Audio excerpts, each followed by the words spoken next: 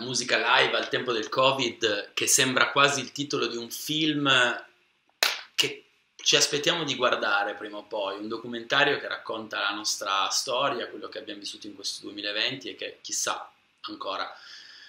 cosa, quali altri scenari ci porterà a valutare e quali altre avventure ci porterà a vivere. Eh, di sicuro eh, da musicista, da operatore culturale, da grande appassionato di musica, ascoltatore di musica, fruitore dei concerti, ecco questo è un momento che io vivo eh, in questa stanza, su questo divano, eh, con questa frase alle mie spalle che insomma parla abbastanza chiaro, cerchiamo almeno un'ora al giorno di essere felici, eh, questo credo fosse già qualcosa che cercavamo prima del Covid, a maggior ragione la cerchiamo adesso e speriamo che quest'ora si possa allargare e possa diventare anche eh, una vita. Vi racconto brevemente l'esperienza di Scena Unita, che è un'esperienza che stiamo eh, vivendo in queste ore, in questi giorni, in queste settimane di grande lavoro, sulla base di un input che è partito da un nucleo molto nutrito di artisti che poi si è allargato ulteriormente, che hanno deciso di scendere in campo con un'azione concreta, economica, da parte loro e da parte di aziende e di realtà eh, che eh, normalmente sono abituate a eh, operare nell'ambito dello spettacolo. Eh, non si limita solo ed esclusivamente a eh, artisti e al mondo della musica, ma eh, nella consapevolezza che il mondo della musica è, è intriso anche di professionalità che vanno al di fuori dell'ambito esclusivamente musicale, eh, si allarga anche a una serie di realtà e di soggetti che operano in altri ambiti che comunque appartengono allo spettacolo. Eh, tutto questo nasce eh, meno di un mese fa. Eh, meno di un mese fa e in questo mese c'è stato un grandissimo lavoro da parte di eh, Cesbi, che è il soggetto erogatore, è una fondazione che lavora tantissimo sul sociale, e da parte della musica che gira, di cui io sono uno dei rappresentanti, e di Music Innovation Hub, che è un'impresa sociale che eh, lavora sull'ambito della sostenibilità e dell'innovazione in ambito musicale. Abbiamo visto come eh, nel primo lockdown c'è stato un tripudio di contenuti di maggiore o minore qualità e interesse eh, in cui gli artisti si sono spesi eh, cercando di andare eh, sui balconi a suonare, di, di, fare delle dirette, di cercare di intrattenere e divertire il pubblico a casa. Ecco, eh, vediamo in questa seconda ondata che questa esperienza è terminata e non è più il momento probabilmente di eh, esclusivamente eh, dare dei segnali eh, di, di eh, prossimità da un punto di vista, se vogliamo, artistico, ma è il momento di agire su una prossimità fisica per quanto sia possibile in questi momenti di, di distanziamento sociale, eh, però sicuramente in una prossimità eh, filosofica, quindi il fatto di avvicinarsi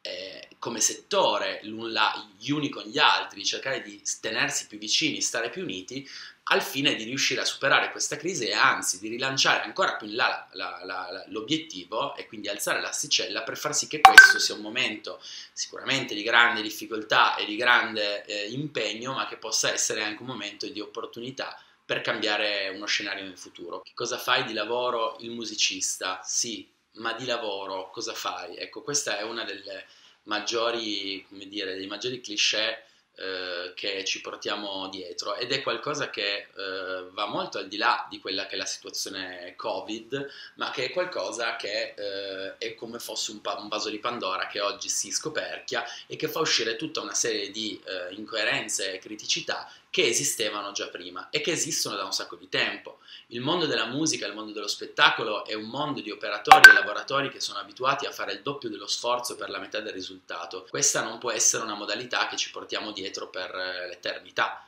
nel senso che questo è proprio il momento in cui eh, bisogna rivolgersi con forza alle istituzioni chiedendo eh, un riconoscimento e chiedendo che finalmente venga fatto ordine e venga anche fatta giustizia sociale rispetto a questo, eh, queste grandi lacune che esistono nel nostro settore, eh, soprattutto nell'ambito di nuovi, eh, nuove forme di espressione culturale, nuove forme di performance, nuove eh, espressioni artistiche che eh, oggi hanno sempre più difficoltà a essere riconosciute come cultura, come settore culturale e quindi dall'altra parte comunque prevedere la presenza di ognuno di noi nella propria vita individuale per cercare di cambiare le cose. Lo scenario che ci si pone davanti è quello nel quale ogni azione di un singolo nella propria vita individuale, nel proprio quotidiano, sono delle azioni che portano dietro un pensiero politico. Eh, ogni azione che noi eh, mettiamo in campo è un'azione che prevede una ricaduta, che prevede una conseguenza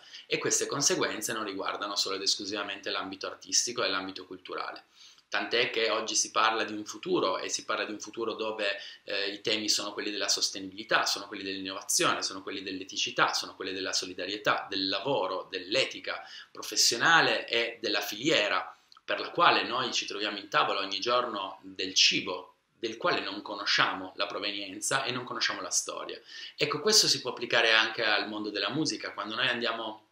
ad assistere a un concerto o ascoltiamo una canzone o ci appassioniamo alla carriera di un artista, è importante sapere che dietro la carriera di quell'artista, che dietro quella canzone e dietro a quello spettacolo ci sono centinaia di operatori, ci sono centinaia di lavoratori che si sono messi a disposizione eh, che hanno espresso le proprie competenze, che hanno messo in atto le proprie professionalità per rendere tutto questo possibile nella maggiore sicurezza qualità e anche con una grande passione, perché è molto importante il fatto che il nostro lavoro sia un lavoro fatto di passioni e in questo momento è necessario mettere la cultura al centro. E la cultura da mettere al centro è quella della novità, è quella dell'emergente, delle piccole nicchie culturali che oggi esistono e che devono trovare una loro collocazione per potersi formare, per poter diventare più forti e per poter diventare competitive sul mercato. Il fondo Scena Unita rimarrà eh, in vita finché ci saranno delle donazioni e le donazioni possono essere appunto compiute da aziende, da artisti o possono essere compiute anche da singoli attraverso la piattaforma for funding di Intesa San Paolo.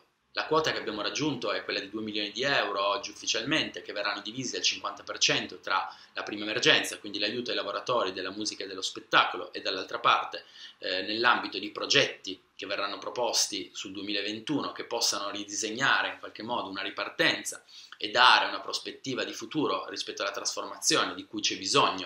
vi invitiamo a andare sul sito www.scenaunita.org per documentarvi rispetto all'andamento di questo progetto che ci auguriamo possa essere veramente un primo passo verso una presa di posizione individuale che possa generare un benessere collettivo.